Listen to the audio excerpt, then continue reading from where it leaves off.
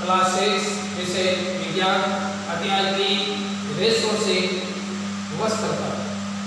रेशम रेशम सिल्क के रेशे भी जातों रेशे होते हैं। रेशम के कीट रेशम के फाइबरों को बनाते हैं। रेशम प्राप्त करने के लिए रेशम के कीटों को पालना, रेशम कीट पालन, सेरिकल्चर कहलाता है। आपने माता पिता, माँ, चाचा, चाची से भी आपने पूछा होगा कि रेशम या रेशमी साड़ियाँ किस प्रकार से बनाई जाती है उनकी जानकारी के बारे में पता क्या होगा? रेशम कीट का जीवन चक्र। मादा रेशम कीट अंडे देते हैं, जिन्हें लार्वा निकलते हैं, जो केटर पिलर है इली या रेशम कीट कहलाते हैं। ये आकार में वृद्धि करते हैं। जब केटर पिलर अपने जीवन चक्र की अगली अवस्था में प्रवेश के लिए ये या कोशिक कहलाता है। ये अपने इर्द गिर्द एक जाल को लेता है वो जाल इसे अपने स्थान में बने रहने में सहायता करता है। फिर वो अंग्रेज़ी संख्या का आठ के रूप में आपने देखा होगा। केटर पहले तार के रूप में प्रोटीन से बना एक पदार्थ पदार्थ संकलन करता है, जो कठोर होकर सूख का रेशम, का रेशा बन जाता है। जल्दी ही केटर पिलर से को पूरी तरह से रेशम के रेशों से ढक देता है और प्यूपा बन जाता है।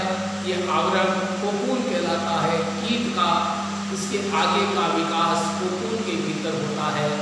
जैसे आपने तितली को देखा होगा, या पत्ती के ऊपर ये अपने अंडे देते हैं, रेशम का धागा, रेशम कीट के कोकून से प्राप्त रेशों से तैयार किया जाता है। रेशम कीट अनेक किस्म के होते हैं और जब एक दूसरे से काफ़ी अलग दिखाई देते हैं, प्राप्त होने वाला रेशम का धागा, गठन अर्थात रूपता चिकनाहट, चमक आदि में भिन्न भिन्न होता है। रेशम, मूँगा, रेशम, कोसा रेशम, अन्य प्रकार के रेशम, विभिन्न प्रकार की किस्म पाई जाती है। सामान्य रेशम कीट शहतूत, रेशम कीट है जो तो कोकून से प्राप्त होने वाला रेशम फाइबर, चमकदार नीचा होता है, लचीला होता है।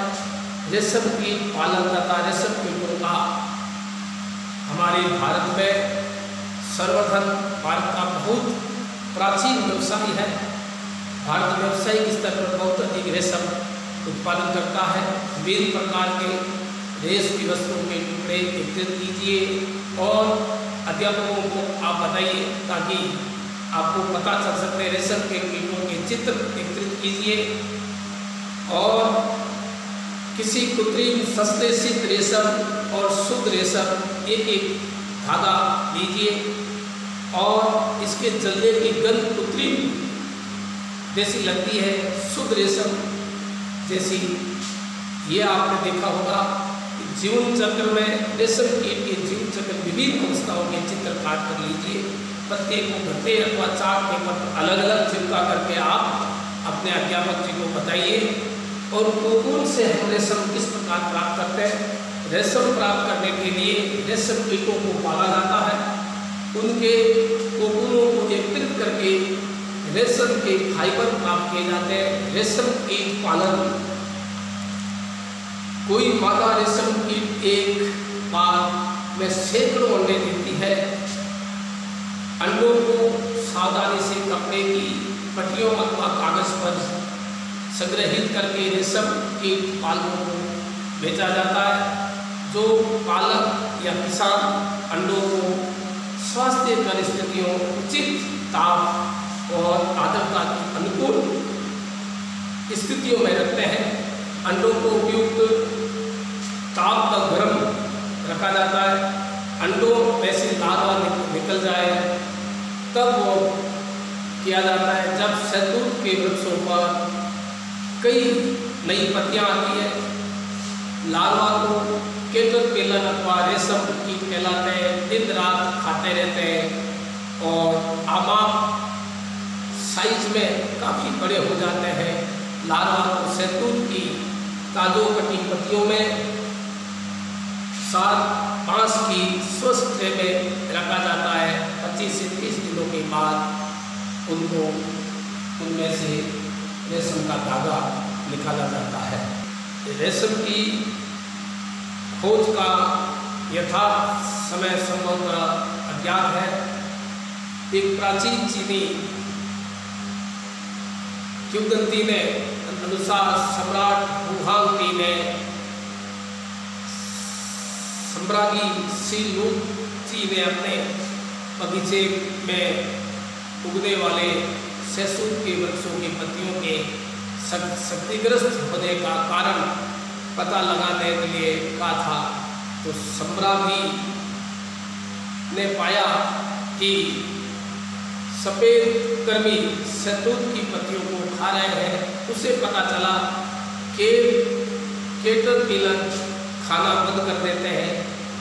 कोकून बनाने के लिए वे बाल बाँस के बने छोटे छोटे कक्षों में चले जाते हैं और टहनियाँ रख दी जाती है। कोकून जुड़ जाते हैं केटर पिलर अथवा रेशम की कोकून बनाते हैं, उसके भीतर पीपा विकसित होता है। रेशम का संसाधन, रेशम फाइबर प्राप्त करने के लिए कोकुलों की बड़ी संख्या में, बड़ी संख्याओं में विकसित किया जाता है। रेशम फाइबर प्राप्त करने के लिए कोकुलों को बड़ी ढेरी का उपयोग कोकुलों को धूप में रख दिया जाता है और पानी में उबाला जाता है, भाप में रखा जाता है। इस प्रक्रम में रेशम के फाइबर पृथक हो जाते हैं और रेशम के रूप में उपयोग के लिए कोकून में से इसे निकालने के पश्चात उनसे धागे बनाने की प्रक्रिया रेशम की रीलिंग कहलाती है। रीलिंग विशेष मशीनों के द्वारा की जाती है, जो कोकून में से फाइबर या रेशम को निकालती है। फिर रेशम के फाइबरों की कटाई की जाती है, जिससे रेशम के धागे प्राप्त हो जाते हैं। कुनकुरों द्वारा रेशम के इन्हें धागों से वस्त्र बनाते हैं। जैसा आपने देखा होगा, कोकून कर्तितून रिली अभिमाचर रेशम की पालन ऊन कटाई, रेशम की केतल केला, समाधान। इस प्रकार से हम लोगों ने रेशम बनाने की विधि हमारे भारत में इस रेशों से वस्त्र बनाने का कार्य बहुत ही पैमाने पर चलता है और रेशम से धागे बनाए जाते हैं। रेशम कीटों के रेशम तथा भेड़ बकरी तथा याग से ऊन प्राप्त की जाती है। तथा रेशम ऊन धरतु रेशे हैं। ऊन, लामा और एल्पेको के पालों को भी ऊन प्राप्त करने के लिए संसाधित किया जाता है। भारत में अधिकतर भेड़ों को ऊन प्राप्त करने के लिए ही पाला जाता है। भेड़ के शरीर से बालों को